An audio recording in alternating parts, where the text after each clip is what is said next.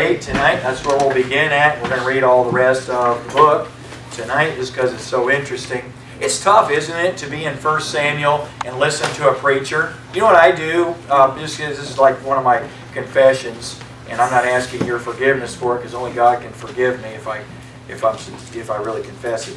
But uh, whenever somebody preaches from 1 Samuel, 2 Samuel, 1 Kings, 2 Kings, I just sit there and read my Bible the whole time and don't pay attention to anything that they say because it's just so interesting.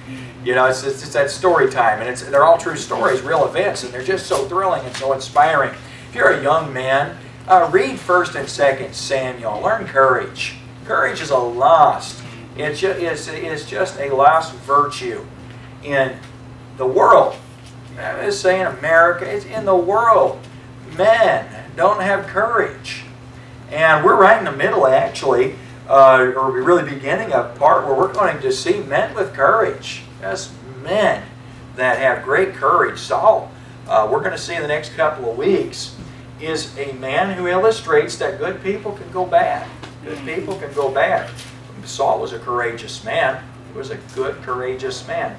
Jonathan is probably one of the best, most virtuous men that ever lived. That's my take, my opinion on it, but everything that I read about Jonathan, Saul's son, was just a courageous man. David, oh man, talk about a guy with some courage, a kid with courage.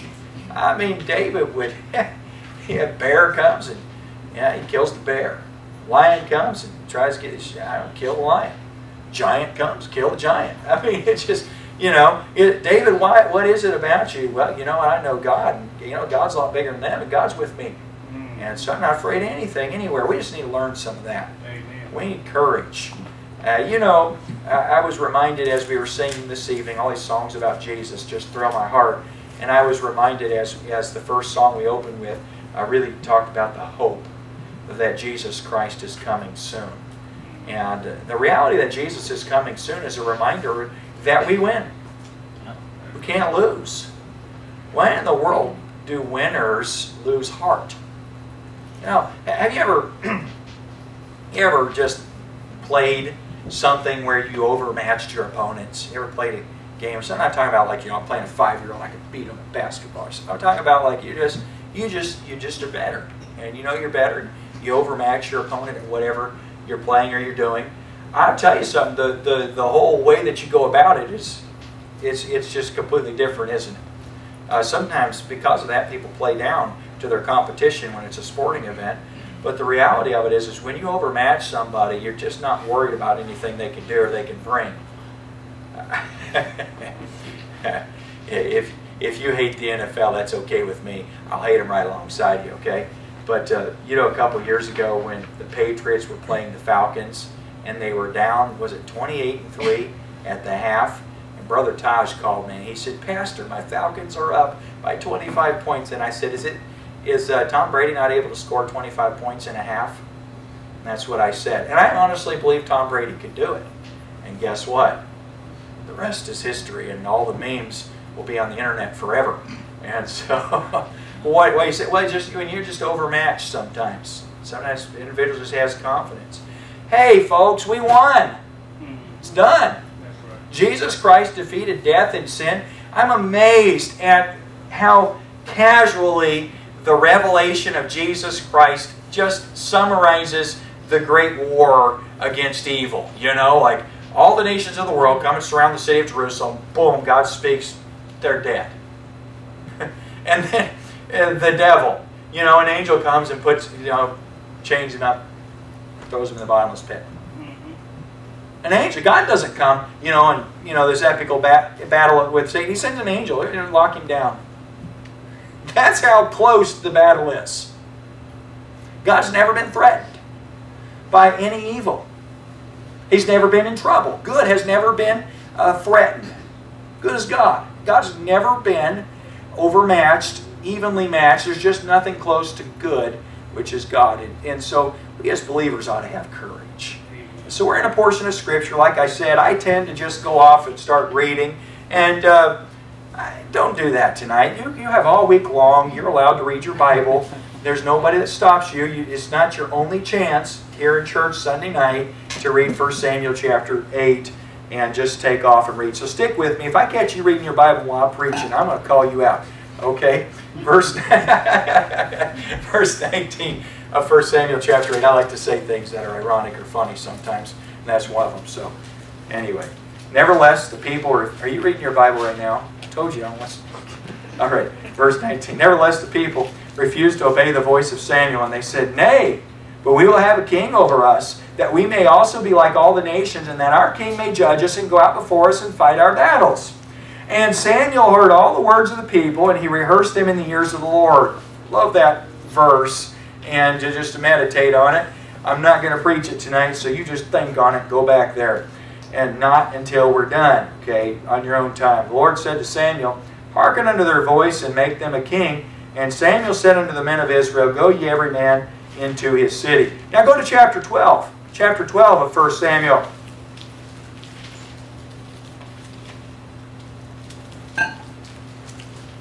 Verse 16.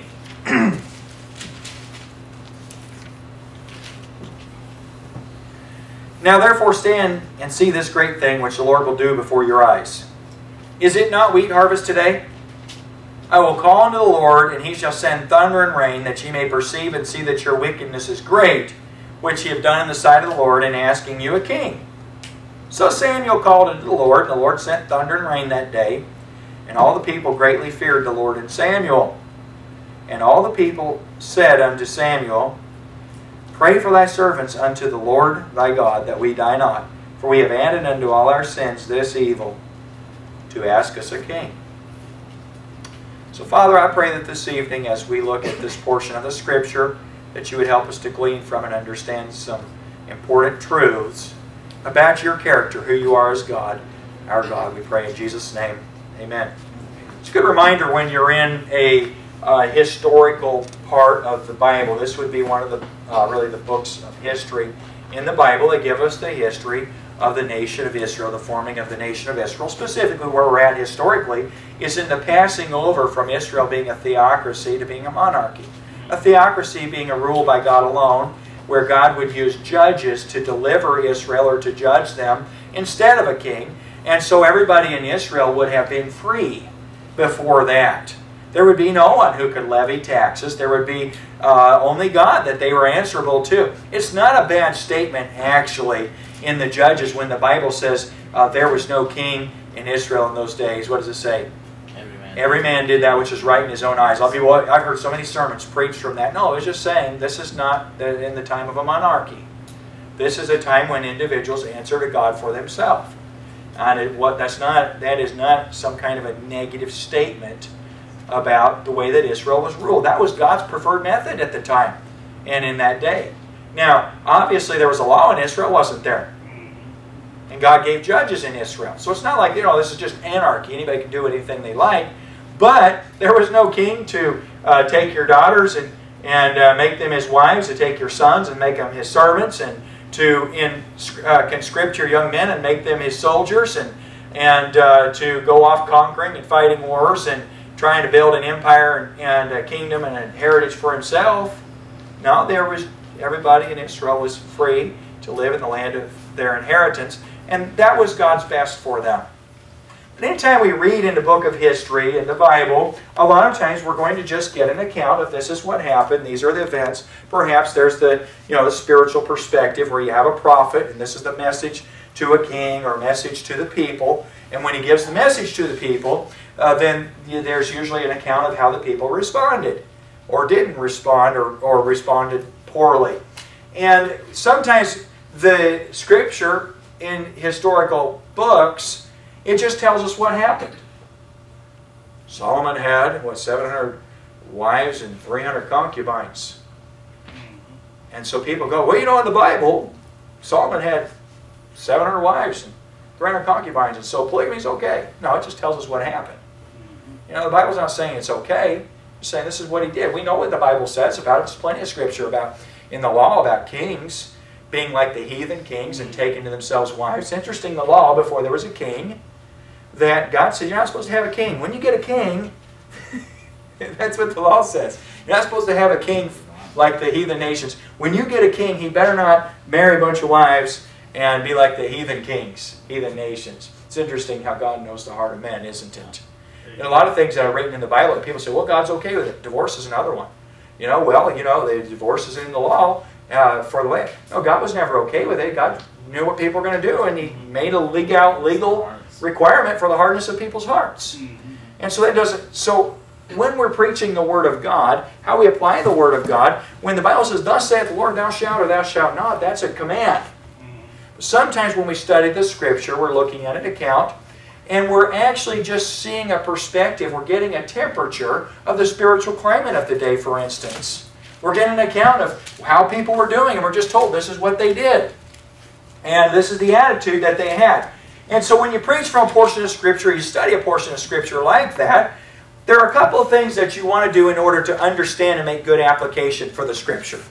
Now, it's easy when you go to, say, for instance, John chapter 13. Here's an illustration. When Jesus said, A new commandment I give unto you, that you love one another. So shall all men know that you are my disciples.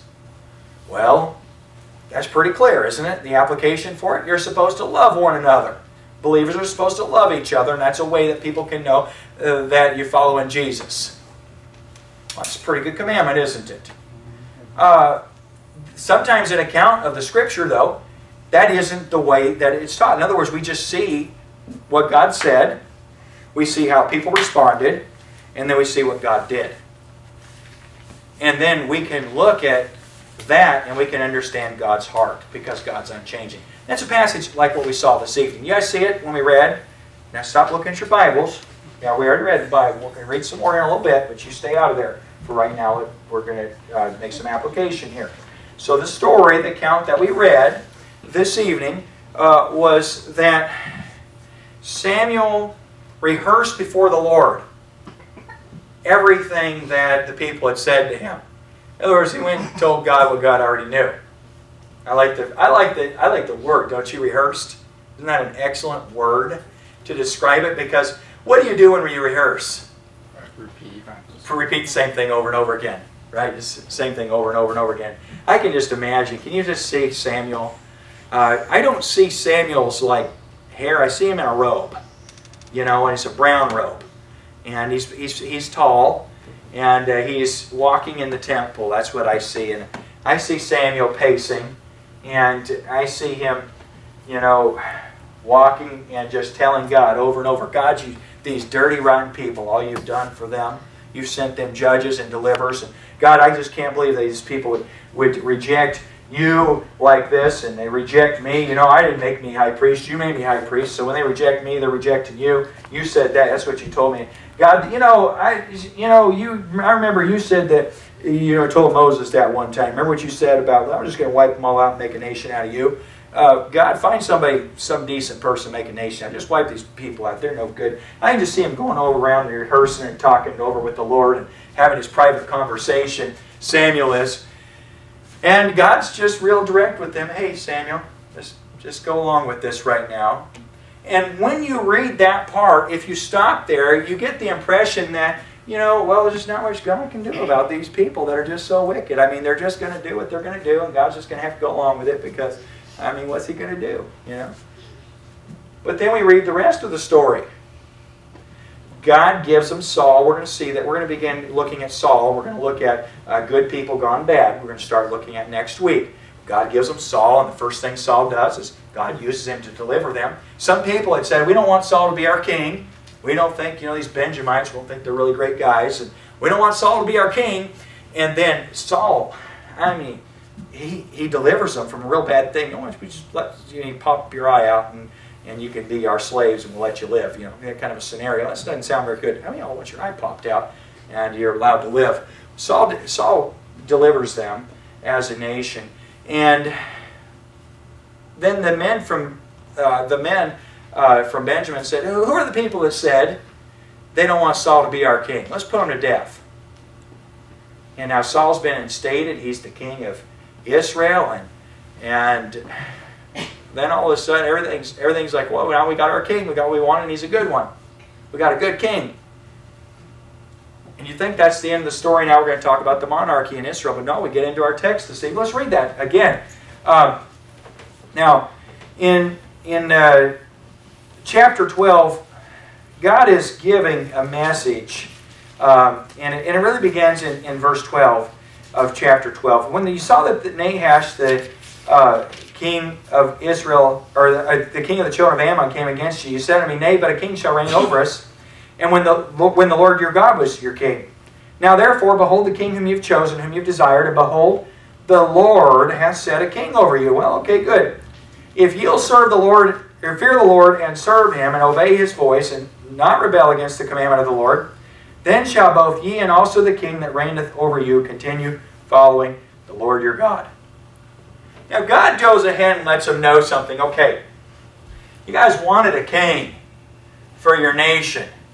I have a plan that supersedes national Israel. It supersedes your generation. What was God's plan for the nation of Israel?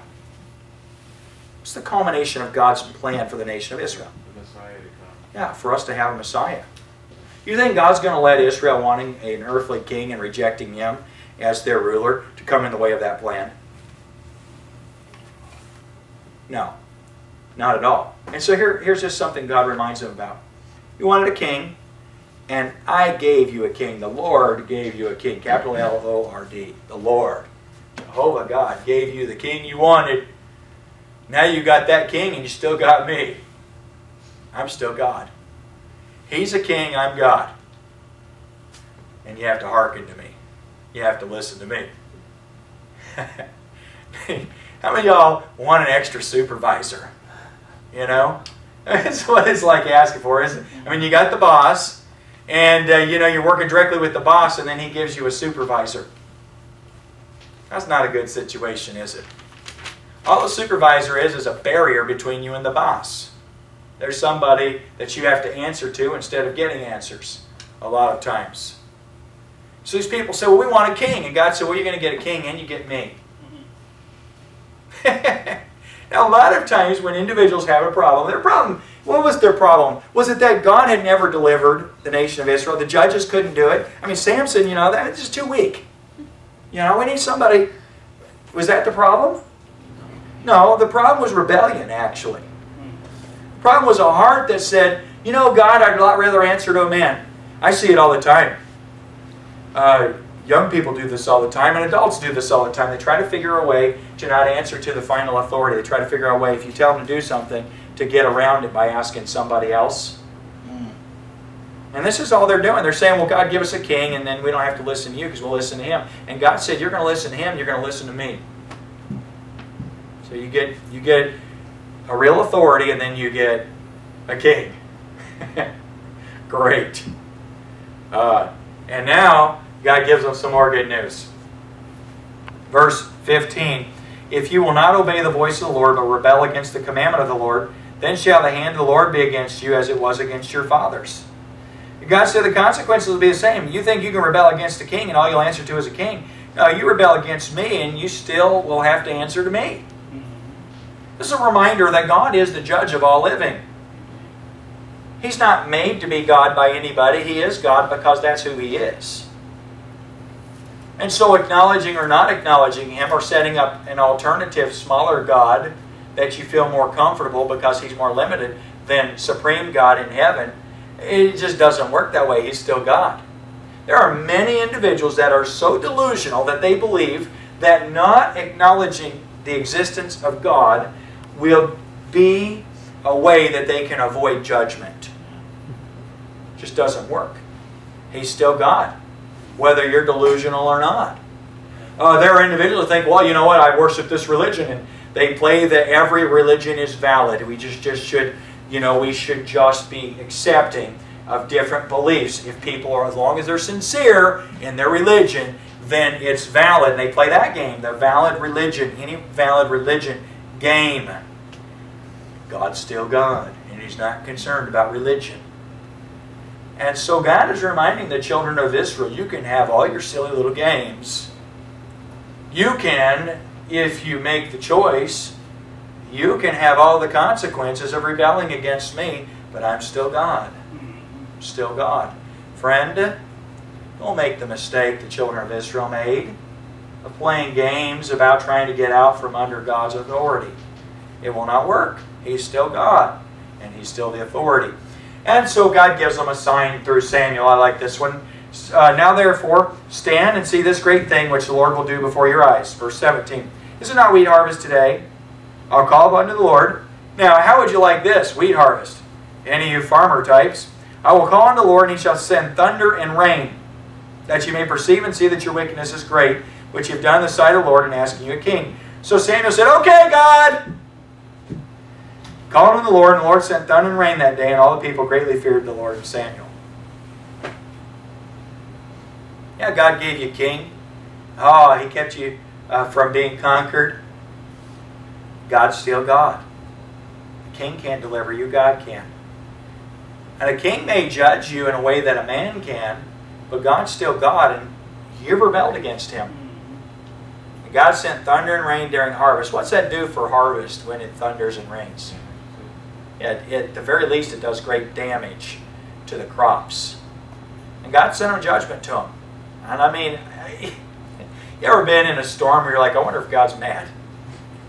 You ever been in a storm where I mean, just like, boom, you know, you it, it, it doesn't just begin to storm, it just, it's like the sky just falls and the thunder roars and it just rip roaring. I love storms myself. I enjoy a good storm. Being in, when I'm in the right place, you know, in a place where there are low percentage chances of being burned to a crisp by lightning and things. And I, I enjoy being out in a storm. I love sitting on a car in a storm, just having the thing just let loose and heaven just break over me. I like that. But uh, when you know God sent the same, and said God's going to send a real storm today, and I imagine it was a doozy. It was enough that everybody said, oh, boy, we've been bad, and we're in a lot of trouble. That was the idea. So they came to Samuel. Now this is a mess, isn't it? You asked for a king, you got a king, and now God said, I'm mad at you for getting a king, and he starts to judge you. Okay, again, God is not wringing his hands. He's not saying, what am I going to do? These people don't want me to be their king. What's going to happen with my plan of redemption? What am I going to do? No, God said, I'm going to let you guys know how it's going to be. He's still God. I find a great deal of comfort in knowing God's always on the throne, don't you? A lot of comfort knowing God's always in control and He's always God. And people can rebel and they can do what they, uh, what God allows them to do, but God's going to let them know. No one gets away with anything. So, in verse 19, all the people said unto Samuel, Pray for thy servants unto the Lord thy God, that we die not. For we've added unto all our sins this evil to ask us a king. And so what happens? Well, the people repented. They said, We've been bad. Not only did we not want God to rule over us, on top of that, we've added to our sins by asking a king. Now, this is a mess, isn't it? This is really a typical pattern for sin. You're a child of God's, and God's very, very clear about the way a believer ought to live. And you make the determination, I'm not going to live God's way, and so you go out and you get into sin. And when uh, sin has its way with you, you think you're having your way with it, but when it has its way with you, all of a sudden, it's judgment time, and you realize, man, I messed up. You know, God's a merciful God. You go to God and you say, God, man, I, everything I did was wrong. I was wrong about the way that I approached it, the way I handled it. I was wrong the direction I went. I was wrong with for what I did. What I did was terrible. God, I'm asking your forgiveness. And I just want you to know God's a very merciful God. He's a God that says, yeah, I know you're wrong. And yeah, you know what? The reason I gave you consequences is because I love you and I want you to get right. Now you got a king. Mm-hmm. Sometimes believers just think God's just going to wave a magic wand and all the things that you created are just going to vanish into smoke. God says, yeah, you've been bad, now you got a king. He's a good looking one. He's a tall one. He's a tough one. Well, we could write a, uh, a uh, Beauty and the Beast kind of a song out of this one. Too bad I haven't watched Beauty and the Beast. I could put this to words. King Saul. I mean, look at the guy. You got him, you asked for him. God didn't say, okay, Saul's going to go home now and we're all going to forget this ever happened. That's not what he said. Here's what he said. Samuel said unto the people, Fear not, you've done all this wickedness, yet turn not aside from following the Lord. but serve the Lord with all your heart, and turn ye not aside, for then should ye go after vain things, which cannot profit nor deliver, for they're vain. So don't get sidetracked. Don't just say, well, it's over, it's ruined, I'm just going to go live for nothing. No. The Lord will not forsake his people for his great name's sake. That is one of my favorite quotes in all the Bible. Because there's nothing about the people that keeps them from being God forsaken. It's everything about God that keeps them from being God forsaken. And that's the way it started to begin with. You know, there's no reason God's interested you know, in us. If you think that uh, really being sincere or really working hard is what impresses God, no, my friend, God doesn't love you ever because of how wonderful you are. And I find a great deal of comfort in that because I'm pretty, I'm pretty well aware of how wonderful I am not. Nobody's wonderful.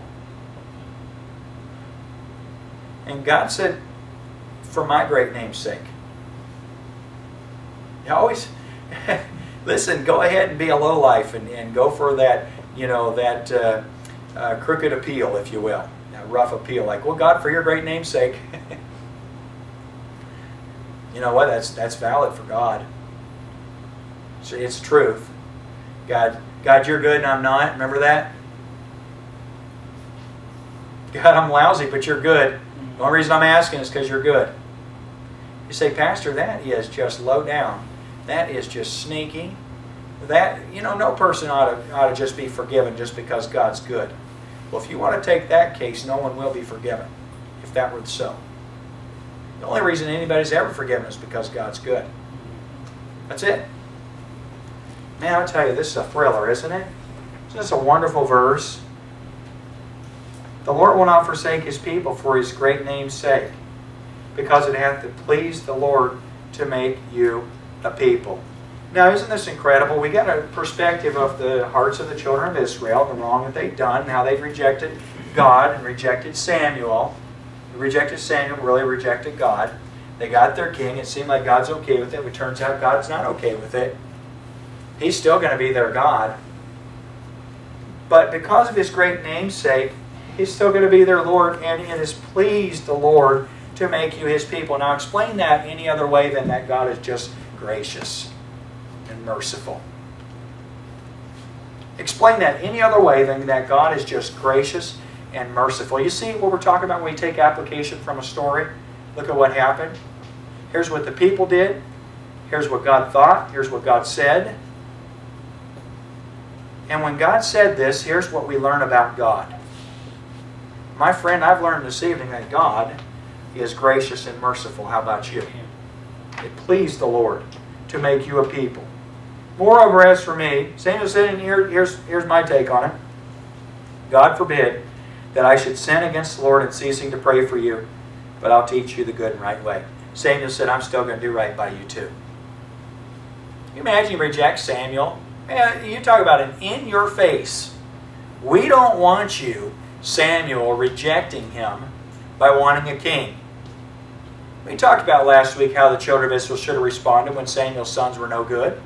They responded the wrong way. And now Samuel's response to them is, God forbid that I should stop or I should cease, sin against the Lord and ceasing to pray for you. But I'll teach you the good and right way. Samuel said, I'm still gonna I'm still gonna fulfill my duty to the Lord. I'm going to do right by you. Still. And here we find a good human example. Now we find that God is gracious and merciful. Anthony, come come, come uh, to where we're at, okay? You here? All right, sit up straight. No? All right. Sit up all the way. Just sit up all the way. Sit back. Sit back in your seat. All right, you ready? All right, we're going to continue now. All right. So God forbid that I should see, sin against the Lord and ceasing to pray for you, but I'll teach you the good and right way. And then he said, You only fear the Lord and serve him in truth with all your heart, for consider how great things he hath done for you. And here we find an appeal from the standpoint of God's goodness. You know, this is summarized in Jude, isn't it? Of some have compassion making a difference and others safe by fear, pulling him out, hating you in the garment spotted by the flesh. You know, God wants to be compassionate if you let Him. He's a compassionate, merciful God. You ought to rush to the throne of mercy. You got to just run there. Now to say, you know what, I sin. By rights, I should be dead. I'm not. And since I'm not, I'm going to go get forgiveness. Just run there. You know, it's, it's interesting to look at, at the mercy places in, the, in, in, in national Israel where you could go and grab a hold of the horns on the altar and you couldn't be put to death there. You could plead for your life. It's a picture of the way it is in heaven. You can go and just grab a hold of, just fall before God in His throne and plead the blood of Jesus Christ on your behalf. God, Jesus died for this. It's terrible. It's, it's, it should be unpardonable, but for the blood of Jesus. Last one. All right? I'm almost done. I would be done, but you're distracting, and it's, it's not okay. Knock it off. All right. Now, but for the blood of Jesus on the mercy seat. Man, we don't deserve anything, do we? we deserve forgiveness. But my friend, I'm here to tell you, based on this example in the Word of God, that God in His character has always been a gracious, good, and merciful God. And that's on the basis of His character, not yours or mine. And that's a good thing. And so then the final verse in our text this evening, uh, Samuel said, But if you shall still do wickedly, ye shall be consumed, both ye and your king. God's not playing. Not playing games. It's, it's for real. He's, he's not helpless. You don't have him in a situation where, well, God, you know, situation is Samuel's sons are no good and you can't make anything out of that, so you're going to have to give us a king just like we want. I said, I'll give you a king. And I'm still God. And Samuel's still my representative right now.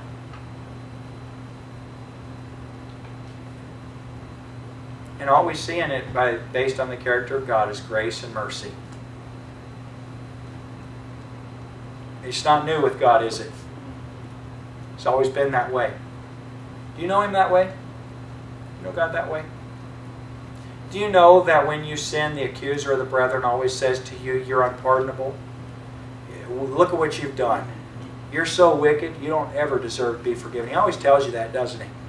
He tells you how good God's been, how terrible you've been, and then he tries to get you to draw the bad conclusion, the wrong conclusion that because God's good and you're bad, that a good God would be inconsistent with his own character. God's always good. He's always good, always has been. And friend, you can count on it. And you can always just run to him. And you can have forgiveness. Doesn't mean you won't still have a king that you went and got yourself. You know? Man, I shouldn't have gone out and gotten debt. You still got to pay your bills. Well, I shouldn't have gone and done that. Got in that relationship. Well, you still got to do right by people. But God will forgive you. God will pardon you. God will make something great out of you in spite of what you are. Because He's that kind of God. Father, we rejoice in having a God like you to rule and reign over us. God, thank you for your perfect plan and for using imperfect people, which is such an encouragement to people like ourselves. We just ask that you would remind us about these truths this week. In Jesus' name, amen. All right, you're dismissed.